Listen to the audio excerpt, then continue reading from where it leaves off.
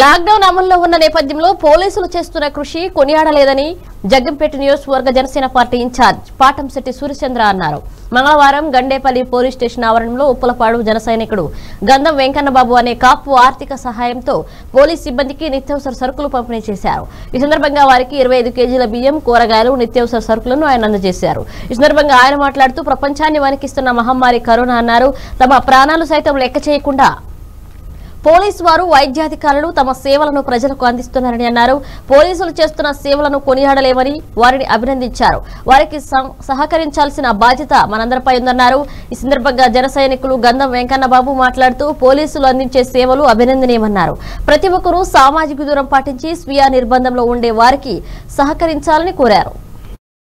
చెప్పినట్టుగా పోలీసు వారు చెప్పినట్టుగా వైద్యులు చెప్పినట్టుగా ప్రతి ఒక్కరూ కూడా ఇంట్లోనే ఉండాలి ఉండ- ఉండాలి. నూటికి నూరు శాతం ఇంట్లోనే ఉండాలి.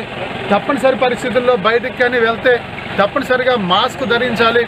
అదే రకంగా సామాజిక దూరం పాటించాలనేది తప్పనిసరిగా ఈ నిబంధనలు మనం పాటించగలిగితే కరోనాని మనం కరోనా నుండి మనం కాపాడుకోవడానికి అవకాశం ఉంటుంది.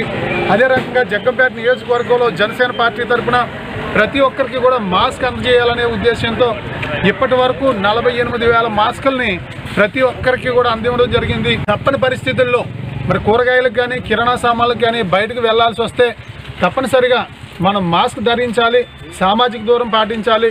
అదే రకంగా మాస్క్ను కూడా మనం ప్రతిరోజు కూడా వేడి నీటిలో ఉతికి వే ఎండలో ఆరబెట్టిన తర్వాతే మాస్క్ ధరించాలని చెప్పేసి కూడా ప్రజలందరూ కూడా విజ్ఞప్తి చేస్తూ